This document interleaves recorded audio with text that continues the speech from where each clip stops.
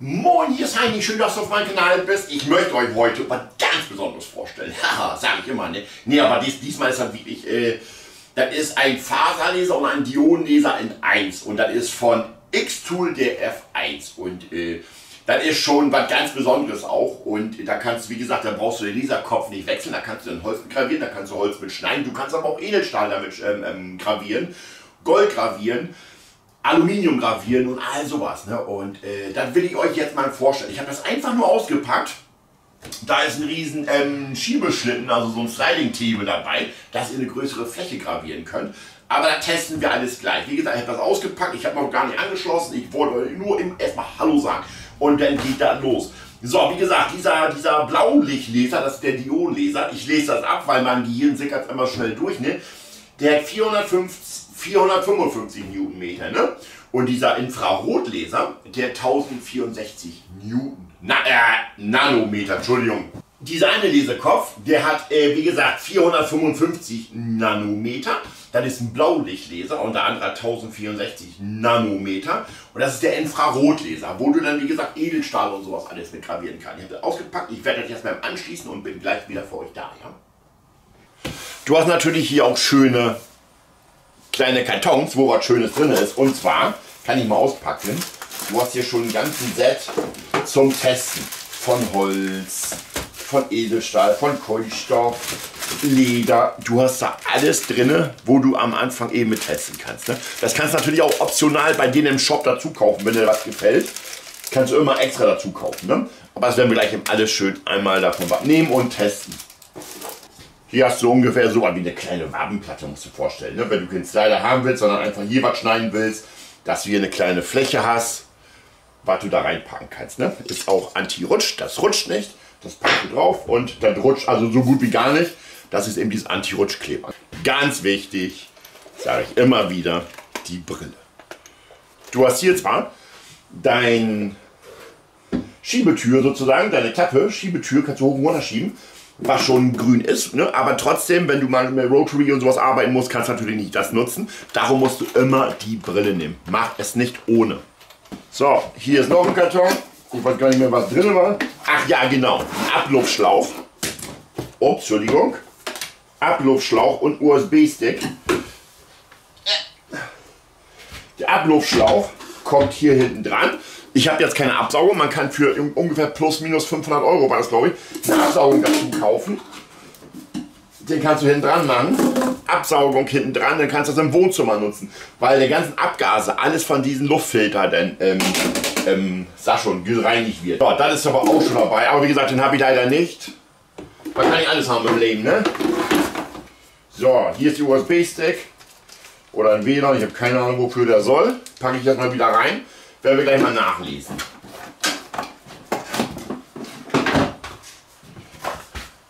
Hier haben wir noch einen Karton mit viel Zubehör, USB. Das ist die Schutzkappe, die ist unterm Laser.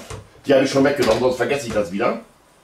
Die kommt einfach hier drunter, wird drunter geklemmt und fertig. Ich mache die aber weg als erstes, weil ich vergesse das sonst und dann hänge ich da wie Pik 7 und weiß nicht, warum ich nie lasern kann. Ne? Und hier hast du eben die ganzen äh, Zubehörteile drin. Ne? Wenn du jetzt äh, Serienproduktion machst, ne, kannst du natürlich das hier draufschrauben, da kommen wir auch gleich drauf. Aber hier hast du auch A und B. So, USB kann draußen bleiben, das auch. Und das andere packen wir erstmal eben wieder rein. Das nutzen wir gleich. Ich zeige euch das Gerät mal eben selbst. Hier habt ihr ja diese Schiebetür Slider-Tor, das Ne, das kannst du einfach hochschieben, dann bleibt er oben. Ne? Wenn du fertig bist oder wieder lasern willst, kannst du ihn einfach runter machen und du hast ihn dann automatisch. Dann äh, verglühst du deine Augen nicht, verstrahlst deine Augen nicht. Wir kommen wieder nicht auf den Wort, ne? wegen die ganze Laser, diese Streuung. Ne? Aber mach das immer mit oder mit Brille, ist wichtig. Das ist ein äh, Metallgriff, das ist kein Kunststoff. Auch hier oben ist alles, sag schon Metall. Das ist aus Kunststoff, ist klar, aber sonst sehr hochwertig ohne Ende. Hier hast du dein Notaus. Auch hier ist es natürlich wichtig, wenn was passiert, zack, eben schnell drücken, geht die ganze Suppe aus. Hier hinten hast du, wie gesagt, deine Abluft. Dann hast du hier unten, hier hast du einen Stick, das denke ich mal ist der WLAN-Stick. Hier hast du USB-C zweimal, hier hast du deinen Netzstecker. Und hier hast du dein An und Aus. Das war mein Bleistift. Und hier hast du eben dein USB-Kabel und dein USB-C-Kabel. Also hier du auch noch zwei Anschlüsse. Ne? Eben wie gesagt für den Sliding-Table oder für den Ablauf, was du alles haben musst. Ablauf nicht, aber für deinen Rotati äh, Rotator und so weiter und so fort. Hier hast du Drehchen. Damit kannst du justieren, hoch und runter. Drehst du nach links, drehst du nach rechts. Auch das ist aus Metall, ist kein Kunststoff. Also, ganz kurz mal eben. Und zwar habe ich, oh mein Handy kann ich wegpacken. Ne? Ich habe das mal installiert. Ich habe mal ganz kurz mal so ein Testgravur gemacht. Und ich muss jetzt schon sagen, vom, vom Software her und so, ne? Hammer einfach. Hammer einfach. Wie gesagt, man kann das auch mit Lightburn nutzen. Die haben aber auch hier eine Software dabei und ist das der X-Tool Creative Space. Und da kannst du im Software schon umstellen. Also das muss ich sagen, finde ich gegenüber Laserpika, habe ich auch schon mal vorgestellt, auf jeden Fall geiler, weil ähm, du musst das ja am Software umstellen beim Laserpika und oben musst du hin und her. Ne? Und hier hast du das nur einmal und fertig. Hier brauchst du dich gar nicht drum kümmern. Ne? Ähm, ich kann das mal zeigen. So, hier seht ihr ja diesen Punkt, einen roten und einen blauen. Ihr müsst das so lange, dass er direkt auf dem blauen ist. Seht ihr, somit fährt der Tisch komplett runter. Hier fährt er komplett hoch. So, jetzt ist er genau auf dem blauen. So lasse ich den. Und jetzt suche ich mal was aus im Software. Ich hoffe, ihr habt das ein bisschen. Habt ihr ja so eine Datei, was ihr so machen könnt. Hiermit hast du dann zum Beispiel, hier ist er verbunden, aber das zeige ich euch alles gleich nochmal separat am PC. Wir wollen keine Linie, wir wollen Flächen. So siehst du auch, dass er gefüllt ist. Gehst du auf Linien, hast du Linien, gehst du auf Flächen, oder schneiden. Super einfach gelöst. Da bin ich jetzt mal richtig überrascht. Und das meinte ich. Hier kannst du aussuchen, ob du Blaulicht haben willst, also ganz normal Holz gravieren möchtest, oder IR für Infrarot, wenn du Metalle oder sowas haben willst. So, Leistung. Da müsst ihr mal durchgucken. Jetzt gehen wir mal auf Leistung von, keine Ahnung was, 30 Prozent. Mal gucken, was er macht. Geschwindigkeit machen wir mal eben äh, 1000. Durchgänge 1, Linien, das kenne ich noch nicht, Linien per Millimeter, äh, per Zentimeter, Bild diagonal. So, jetzt kannst du hier einen Rahmen fahren. Hier hast du jetzt einen Rahmen. Diesen blauen Rahmen erkennst du. Jetzt kann ich aber auch das Ding so hinschieben. Seht ihr das? Ich kann es auch ein bisschen größer machen.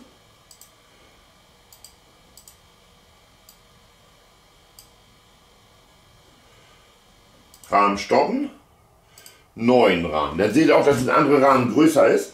Den schieben wir genau an der Ecke. Das ist richtig toll. Dann werden wir den mal im runter machen.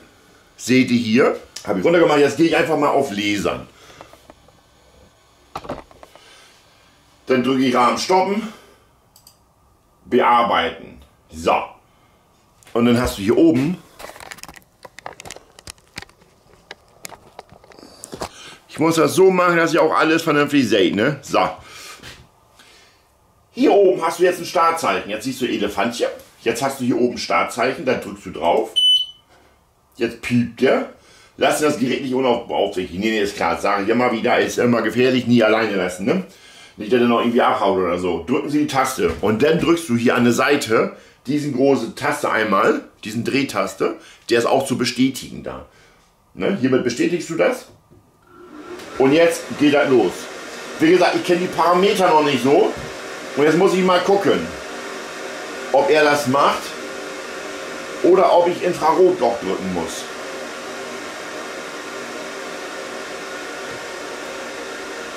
Leder, Leder, Leder. Ich glaube, Infrarot muss ich drücken, ne? Seht ihr auch schön, dass er, wenn er Arbeiten ist, dass dieser hier blinkt. X-Tool. So, ich gehe mal hoch. Ne, der hat gar nichts gemacht. Entweder zu wenig oder ich gehe mal auf, ich gehe auf fertig, okay. Und ich gehe mal eben auf zurück.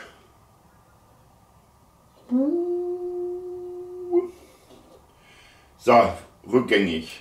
Ne, du sollst so bleiben, Kollege. Die Größe will ich also behalten. Eigenes Material. Ach, hier kannst du Material, Leder, Entschuldigung, habe ich nicht gesehen. Leder kannst du hier auswählen. Gehen wir mal auf Bearbeiten nochmal. Mal gucken, ob er das jetzt automatisch macht. Ne? Jetzt habe ich Leder ausgewählt. Hatte ich leider... Oh ja, jetzt gibt Gas. Jetzt gibt er aber Gas. Dann sind die Programme schon alle die ganzen Parameter vorgestellt. Ich sehe schon durch ein Fenster, seht ihr glaube ich auch schon, dass er da Leder graviert. Toll.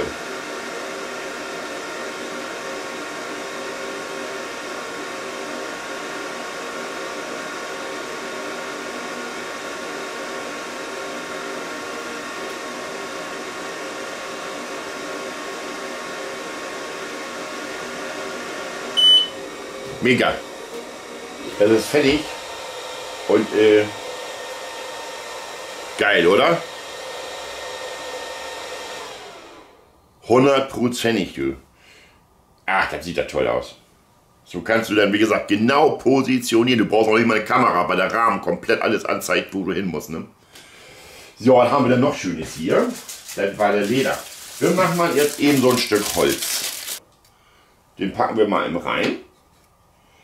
Der ist natürlich dicker. Jetzt fahren wir da mal runter, dass die beiden Punkte wieder übereinander sind. Zack. So, den packen wir mal eben da genau hin.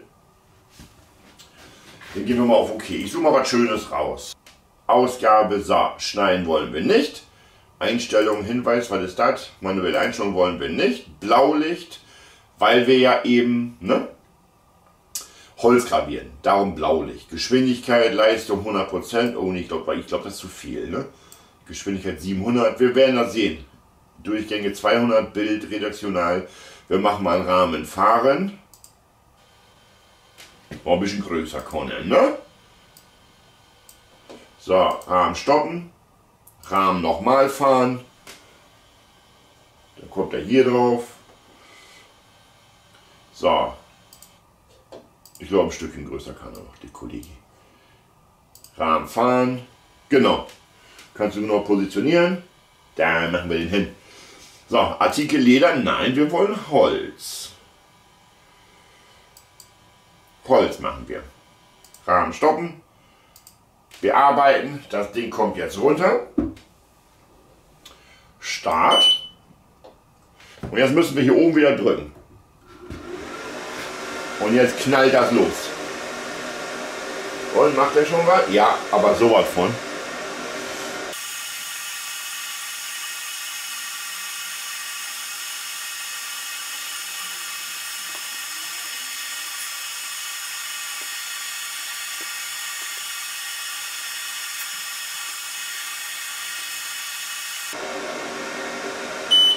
So, hat gepiept, ist fertig. Wir schieben das Ding einfach wieder hoch und gucken uns das an. Einfach nur geil. Einfach nur genial. Und mit was für eine Leichtigkeit, ohne irgendwelche Probleme beim Software, dass man nicht weiß, was man anklicken muss. Ne? Was nehme ich denn jetzt mal? ein Hundeknochen für Leo und Lotta. Jo. Ein Hundeknochen für meine Babys, Leo und Lotta. Das graviere ich da jetzt mal drauf. Das lege ich da einfach ganz normal wieder rein fahre den runter, dass der Punkt da wieder ist.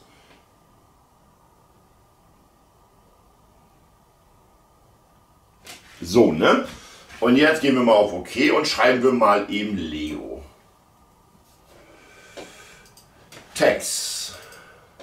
Dann hast du oben deinen Text, da schreibst du dann Leo.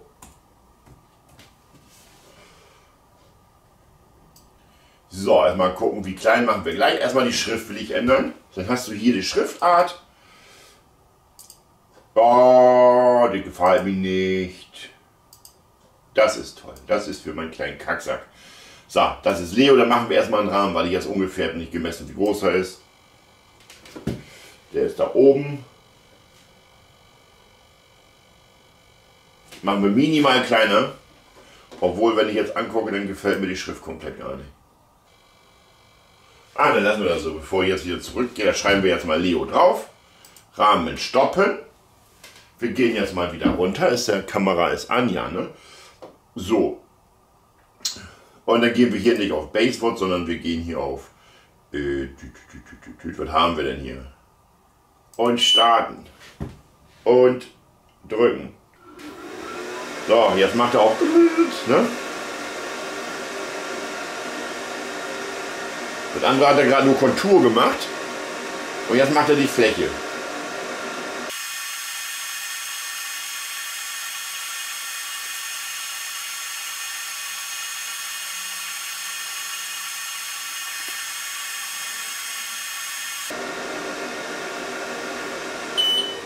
Zack, fertig. Ofen auf. Guck mal, das sieht doch so toll aus, ne? Guck. Leo. Einfach top. Andere Seite mache ich Lotta nochmal. Meine Maus. Arbeiten und schieß los. Start. Hier oben bestätigst du nochmal. Bam.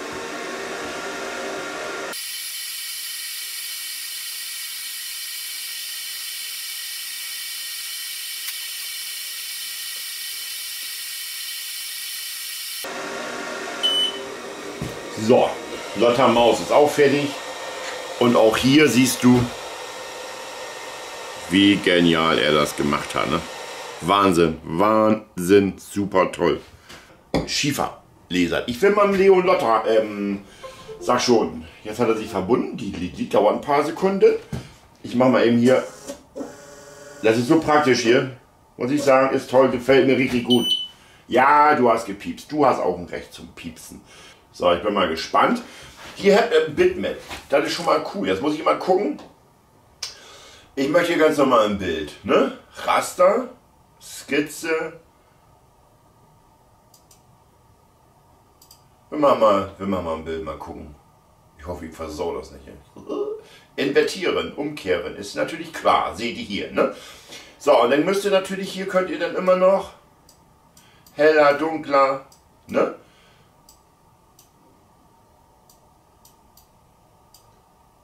So, Schärfe.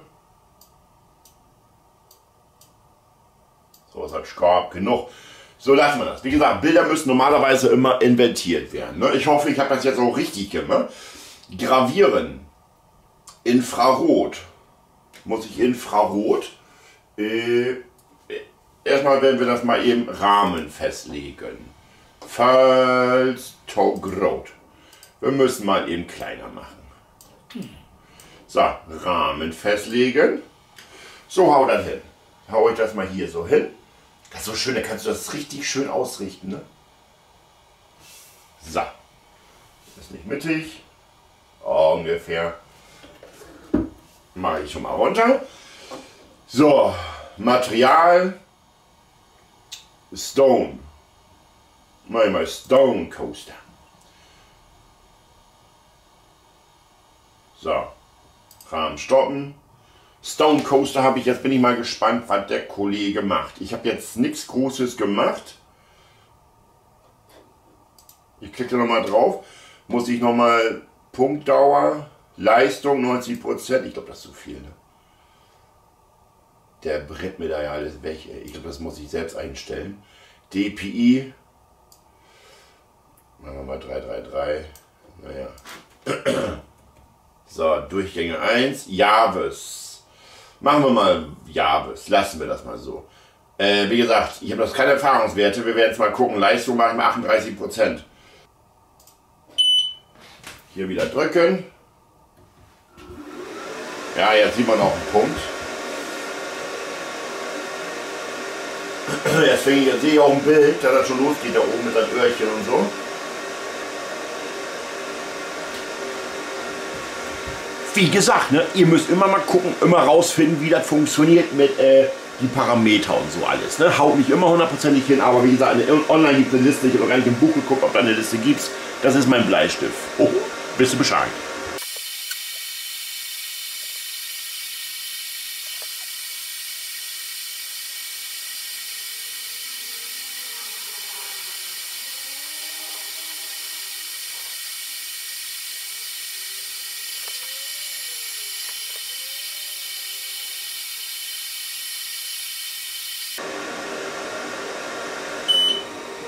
So, mal gucken. Ja, den lasse ich erstmal so, bevor ich das noch... Ach nee, das sieht ja 100 sehr, sehr toll aus. Ohne, dass ich das groß bearbeitet habe. Seht ihr das? Ach Gott, ist das toll, meine kleine Lieblinge, ey. Ist das niedlich. Habe ich gar nicht groß bearbeitet. Ich habe das Bild geladen. Habt ihr gesehen, ne? Ich habe das inventiert. Zack, fertig. Ach Gott, ist das niedlich. Ist das süß. Also bis jetzt alles, was dabei gewesen ist, muss ich sagen, ich bin so ein bisschen feucht. Es ist, äh, wie, mit, mit was für eine Leichtigkeit man dieses Programm bedienen kann. Das habe ich noch bei keinem anderen Leser groß gehabt, muss ich sagen. Klar, wer Lightburn kennt, ist mit Lightburn Fetischist, ist klar. Äh, aber dieses Programm hier, ne, ist viel einfacher wie der von Laserpika. Bei Laserpika, da hast du hier und da immer, immer Probleme gehabt. Ich glaube, die meisten wissen, wovon ich rede. Das hast du hier nicht. Das ist Hammer. Bis jetzt, was er gemacht hat, ne, ich kann das mal ganz kurz mal zeigen, den Teddybär, meine kleinen süßen Babys, Lotte und Leo, auf Edelstahl graviert. Dann habe ich das Stück Holz hier graviert. Ganz, ganz einfach und toll. Dann habe ich ja meine Schieferplatte gerade gemacht. Hundertprozentig. So, und jetzt, wie gesagt, ich habe ja noch viel mehr Material hier. Ne? Aber ich will jetzt als erstes mal den Slider-Table testen.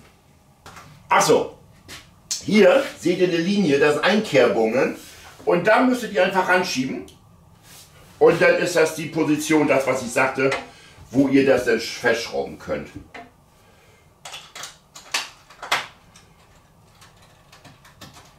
Da ist sogar kein Loch. Oh doch. Das ist auch mal ein Ding, du. Schon ist er fest. Ist ja mega. Wie gesagt, hier ist die Auskerbung. Wo ist sie denn? Wie bescheuert da. Die Auskerbung. Dann wird die einfach festgeschraubt. Fertig. Und jetzt ist sie drauf. Das war das ganze Hexenwerk. Cool. Dann seht ihr hier, ich so, welche Position musst du am besten finden. Ne? Und dann steht das hier drin, diese Auskerbung. Aber da guckt ihr am besten im Handbuch nach. Und das war's. Das verbinde ich jetzt einfach mit dem USB-Kabel. Hier hinten hast du USB-C. Wo ist die Kollege? Einmal. Zweimal. So, verbunden ist der. Ich mache den nochmal an und aus. Einfach nur so. So, dann bin ich mal gespannt.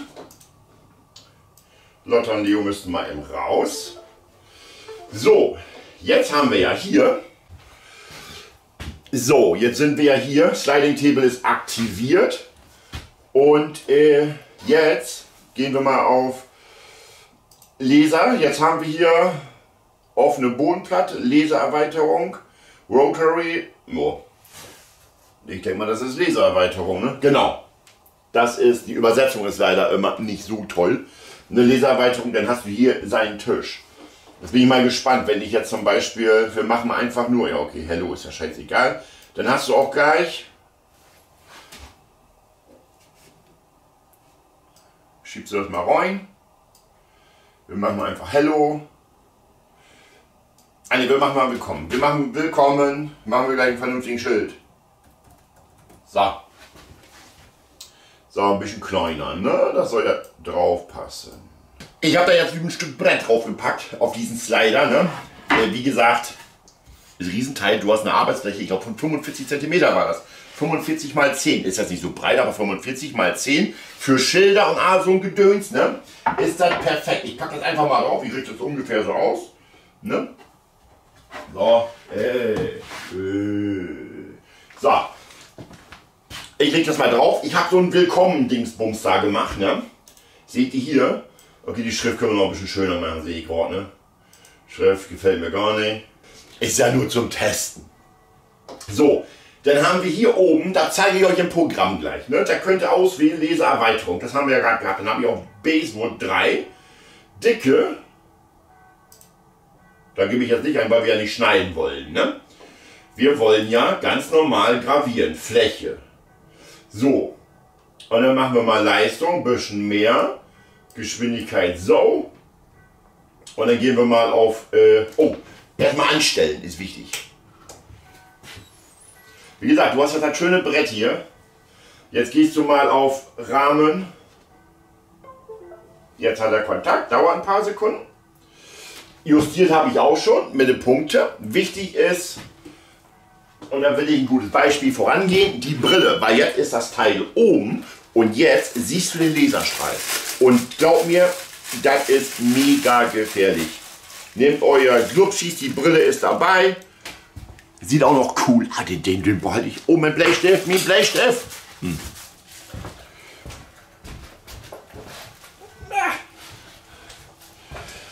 So, und dann kannst du wenigstens Heavy verschießen. Rahmen.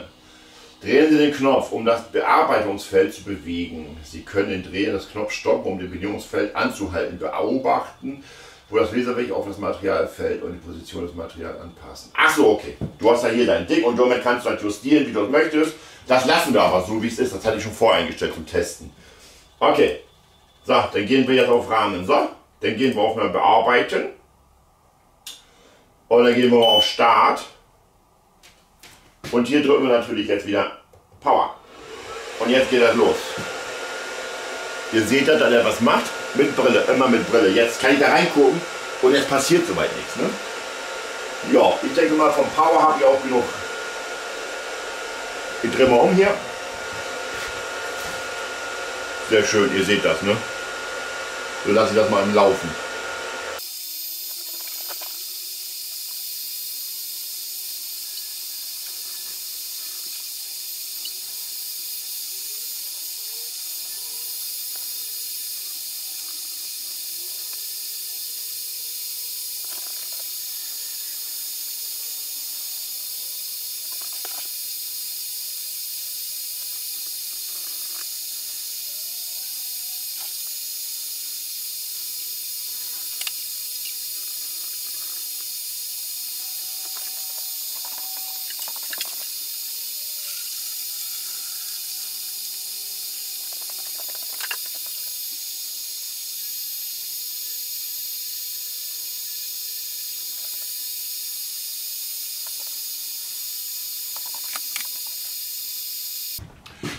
So, meine Lieben, das ist fertig. Ihr könnt das schon erkennen, ne? Hol ich gleich hoch. Ich möchte aber noch mal eben an den Ecken ein Herzchen machen. Wir mal gucken, ob er das hinkriegt, ob das so passt. So, wir werden einfach mal hier ähm, Form. Hier wird doch wohl irgendwo ein Herz sein, war. Ein Herz habe ich gesagt. Hier, Festival muss. Da kommt Herzchen hin. Ist ziemlich groß.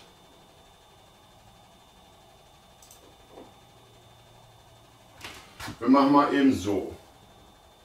Ach nee, der Willkommen muss ja weg. Das macht er ja sonst normal. Gottes Willen. So, stoppen. So, jetzt haben wir das da. Ne? Jetzt schieben wir das nochmal ein bisschen weg. Herzchen soll hier hin. Okay. Brille auf. Brille auf. Stoppen und los. Start. Komm mal was on. Und Action. Achso, ja, ich muss da drauf drücken, voll draußen. An diesem Drehrad, ne? Da dreht er einfach. Es war so schnell. Das waren zwei Sekunden oder so, ne? Hammer. Hammer. Okay. Jetzt machen wir andere Seite nochmal genauso. Ne? Ja, hier auch nochmal. Jetzt schiebt er das Ganze rüber. So, jetzt kannst du natürlich positionieren, wie du willst. Machen wir das hier. Perfekt. Stopp. Bearbeiten. Start. Guck mal, wie schnell das geht. Ah ja, drücken. So. Ja, wo will er hin? Nein. Wo will er hin? Ach so, okay. Krass, krass, krass, krass. Okay, fertig. Ab. Einmal nur so jetzt auf die Schnelle. Aber ihr könnt dann Herzchen und so auch alles natürlich noch äh, intensiver machen. Ne? Aber das große, das ist jetzt 40 cm ungefähr. Mega, mega. Muss ich sagen, ganz, ganz toll. Meine Lieben, das ist jetzt der XF1 von X-Tool. Und ich muss sagen, äh, der ist richtig, richtig geil. Ja, für Serienproduktion habt ihr natürlich auch diese ganzen Gedönsen dabei. Äh, für die Ecken, dass man das draufschrauben kann und so alles, ne? Die ganzen Klemmen und so alles habt ihr alles komplett dabei für wenn ihr immer wieder Wiederholungsgenauigkeit braucht, ne? Wiederholgenauigkeit. Dann habt ihr, ups, für die Ecken habt ihr so ein Teil, dann schraubt ihr da drauf Und der könnte immer wieder Serienproduktion machen. Der könnte immer wieder dasselbe reinpacken. Ne? Dann wird das hier abgeschraubt, dann kommt das da drauf. Zack. Und dann könnt ihr das da drauflegen und wird immer wieder von vorne gemacht. Ich habe ja noch mal ein paar Sachen graviert, ne? Und das muss ich noch mal ganz kurz eben zeigen. Wie gesagt, das ist jetzt ja Edelstahl gewesen, ne? Lotta von beiden Seiten und Leo. Dann hatte ich ja hier Leo äh, Leder gemacht. Mega. Eine Baumscheibe und einfach Lotta und Leo auf Schieferplatte. Und äh, dieser e F1, nicht X1 von X-Tool, F1, wie gesagt, der mit seinen zwei Laserköpfen der macht Holz und Edelstahl. Ne? Der zwei Wellenlängen könnt ihr einstellen, also am, am Software, da zeige ich euch ja und äh, super. Und ich muss auch ganz ehrlich sagen, ich habe ja den Laserpika auch schon gehabt und der Laserpika ist geil, ist richtig geil. Ne? Aber hier, muss ich sagen, ist das alles ein bisschen einfacher. Ne? Auch, auch, dass ich hier hoch und runter machen kann, finde ich schon, ist cooler. Muss ich sagen, da brauchst du dich runterpacken. Ne?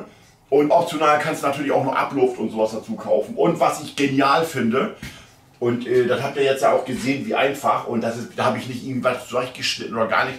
Das ist so einfach. Ihr könnt euch dieses auch runterladen, dieses Programm auf Xtool, euch das mal angucken. Ne? Und das ist so einfach, egal was du machst. Ich habe leider kein Rundkabur hier gehabt, ne? kannst natürlich auch machen, dass ich das testen kann. Aber sowas hier, wie gesagt, du kannst natürlich auch mit den Daten spielen, ne? dass du noch mehr Power machst, langsamer machst, schneller machst, je nachdem. Ne? Und äh, auch dieser Schiebeschlitten, ohne Probleme. Da zeigt dir gleich an, wie, welche Position. Und das hatte ich leider bei den anderen nicht. Hier kannst du gar nichts falsch machen. Ist richtig schön beschrieben. Also einen riesengroßen Pluspunkt. Gefällt mir richtig, richtig gut. Ist toll. Muss ich sagen. Auch ich würde hier gar keinen Lightburn nehmen, weil äh, der ist da extra drauf ähm, zugeschnitten sozusagen. Ne? Und das funktioniert. Ich, ich wüsste gar nicht, warum ich jetzt für hierfür Lightburn nehmen sollte. Weil, wie gesagt, das Programm arbeitet damit hundertprozentig zusammen. Meine Lieben, das war der X-Tool F1 Faserleser und äh, der auch Holz lasert und schneidet und so, ne? Und muss ich sagen, richtig, richtig geil. Ach, Holz schneiden haben wir noch gar nicht gemacht. Das wollen wir doch noch mal testen. Hier haben wir auch Holz, das, das will ich jetzt aber mal testen. Legen wir da mal drauf. Das Herz haben wir da ja drin. So, machen wir mal ein bisschen größer. Rahmen fahren. Der fällt erstmal wieder seine Ursprungsposition.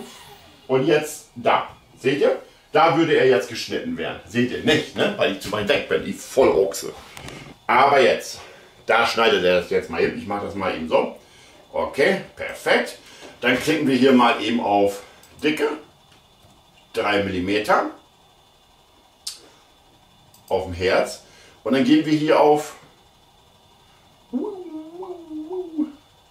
Schneiden. Ne? Blaulicht, schneiden, 90%, Geschwindigkeit 3. Wir lassen es einfach mal.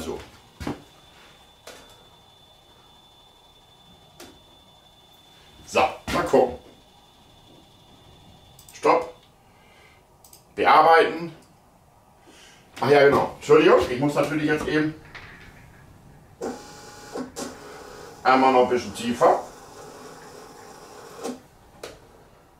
So, ich bin mal gespannt. Ich habe keine Ahnung, mit wie viel Power der das jetzt macht. Okay, jetzt fährt er mal wieder hin und zurück. Und jetzt schneidet er. Das Schöne ist ja auch der Laserstrahl. Ach, der Tisch bewegt sich hier auch, alles klar. Klar, der Schiebetisch ist ja aktiviert. Ne? Logisch. Könnt es natürlich jetzt auch ausmachen.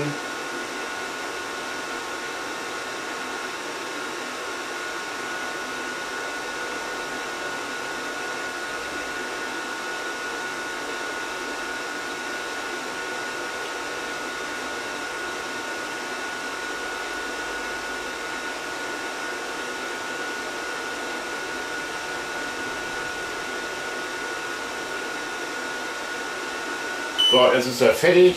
Ich habe keine Ahnung, aber der scheint durch zu sein. Ja, perfekt. Ne? Also hat er jetzt so perfekt. Und dafür, dass er keinen E-Assistent hat, hat er kaum oder so gut wie gar keinen Schmauchspuren. Ne? beide Seiten nicht. Seht ihr das? Oh, ist so geil. Also ihr seht im Hintergrund diesen bisschen Dunst. Also ihr braucht unbedingt, würde ich empfehlen, die Absauganlage dafür. Ne? Das, das, das habe ich leider jetzt nicht hier. Die kann man dazu kaufen, optional mit diesem Schlauch. Und äh, dann saugt er das auf und gibt das gereinigt weiter. Dann merkst du, da hast du die ganze Scheiße hier nicht, ne? diesen Dunst, was ich jetzt habe. Jetzt muss ich erstmal Fenster aufmachen, macht das nicht wie ich. Aber äh, der schneidet. Ich bin begeistert. Also muss ich ganz ehrlich sagen, ich bin von dieses Ding richtig toll begeistert. Hammer. Wenn ihr Fragen habt, könnt ihr gerne Fragen in den Komment äh, Kommentaren schreiben. Und ich denke, äh, ich habe gesagt, Rotary habe ich leider nicht. Aber ich denke mal, ich kann euch helfen, wenn irgendwelche Fragen kommen oder so. Ne? So, meine Lieben. Ich sage in diesem Sinne abonnieren. Link ist unten in der Beschreibung, wenn ihr da Bock drauf habt. X-Tool F1 ist wirklich empfehlenswert. Das Software alleine schon ist genial. Für das also sofort, also ist genial, ist genial. So, tschüss. Boah.